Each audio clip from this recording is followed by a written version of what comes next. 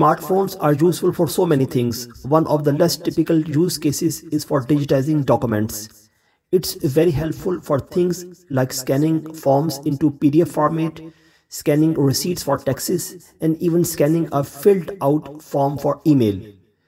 The criteria used to choose the best receipt scanner apps included ease of use, quality of scans, OCR functionality, and user reviews.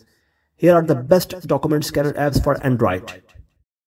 Before we proceed, make sure you subscribe to Technology World Hasib and press the bell icon to get daily tech videos. Did you know that you always carry a document scanner in your pocket?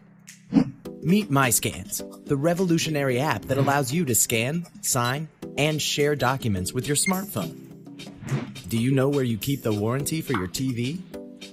With MyScans, you can always have your receipts and warranties readily available right in your pocket.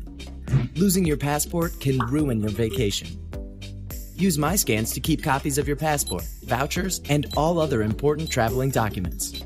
Scan your favorite magazine articles and cooking recipes, and never forget how you baked those tasty muffins.